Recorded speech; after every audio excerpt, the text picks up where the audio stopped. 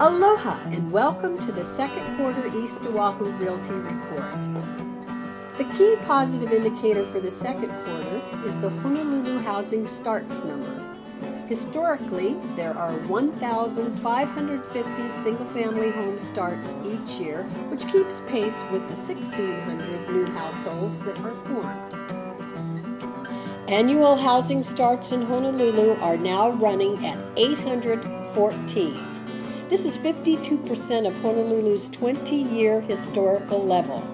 This implies a potential housing shortfall as Hawaii's economy stabilizes. This housing shortfall is evident in months' supply of inventory on the market for June. Supply is down to around six months for both single family homes and condominiums. Homes for sale in the month of June were at three year lows for both categories. A shrinking supply is also evident in both housing categories by the decreased number of new listings. In the second quarter, we see median sales price dip about 3% for single family homes, while condominiums are down less than a percent. The number of closed sales in Q2 have slipped 7% for single family homes and about 3% for condominiums. Q2 pending sales dipped about 1% for single family homes, while condominiums are up 4%. Second quarter days on market is up 20% for single family homes and 37% for condominiums. Percent of original list price received is relatively unchanged at 95%.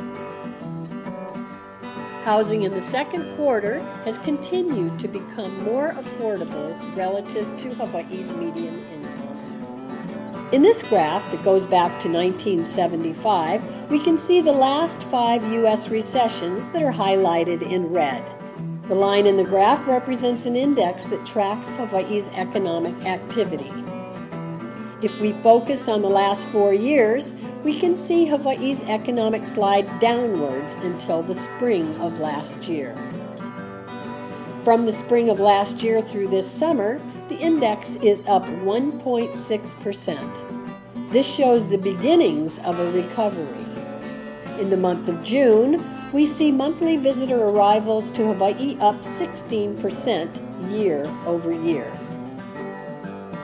Statistics for May show visitor days are up by 8.5%, and that's compared to the same period last year.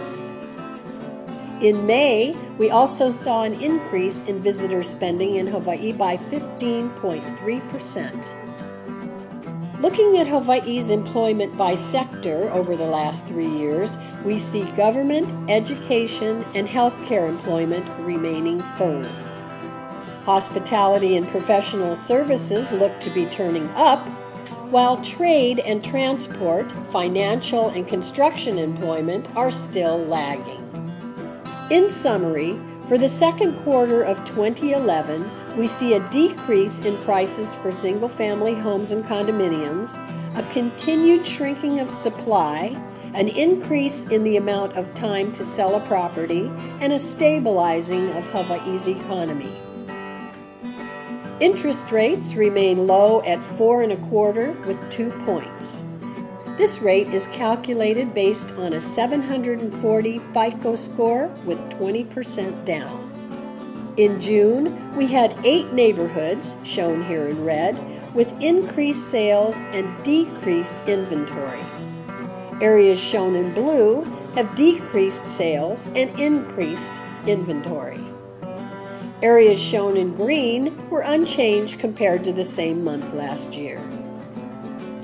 With the help of a proven professional, you can navigate this often confusing and difficult process with ease. When you work with East Oahu Realty, you work with a team of knowledgeable and experienced professionals equipped with special expertise.